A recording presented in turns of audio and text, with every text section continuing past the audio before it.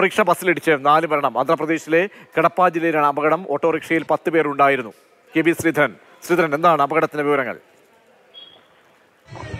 കടപ്പ ജില്ലയിലെ ശ്രീ കല്യാണ മണ്ഡപം അതായത് എരകുണ്ടല ബൈപ്പാസ് റോഡിലാണ് ഈ അപകടം ഉണ്ടായത് ആന്ധ്രാപ്രദേശ് റോഡ് ട്രാൻസ്പോർട്ട് കോർപ്പറേഷന്റെ ബസ്സിലേക്ക് ഓട്ടോറിക്ഷ ഇടിച്ചു കയറുകയായിരുന്നു.